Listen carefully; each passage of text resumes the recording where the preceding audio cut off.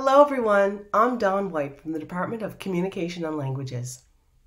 Your instructors are going to be receiving a lot of emails, and one way you can help us respond to you quickly and effectively is by following these five tips for emailing your professor.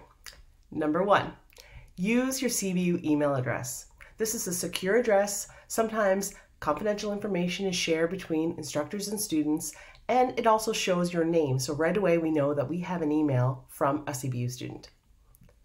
Number two, think about your subject line and at least include the course code and section, if, if necessary, in your subject line.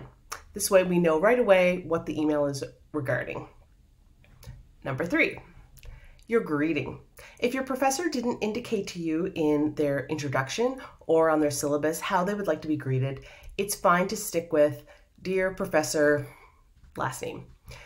Try to avoid using Miss, Ma'am, Hey, or Sir.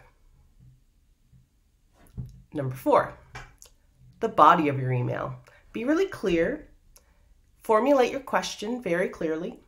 Make sure the professor understands the situation and make sure it's short. Number five, your closing.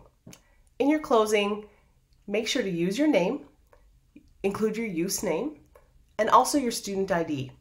Having all of this information right at our fingertips will help respond to you quickly and effectively. Good luck, everyone.